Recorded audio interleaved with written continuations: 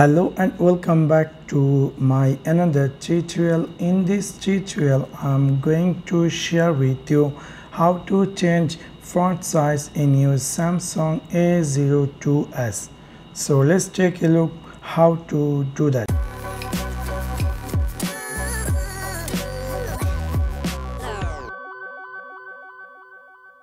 You might be recently buy this Samsung A02s and you are wondering how to change font size.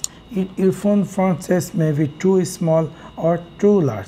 You want to customize it.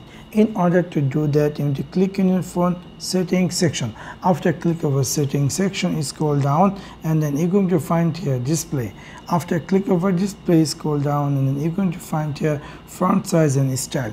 After click over font size and style, you can see currently my phone font size is too large. If you decide to uh, reduce the font size, you can easily bring the size you want you can see I just bring the uh, default size uh, in this font.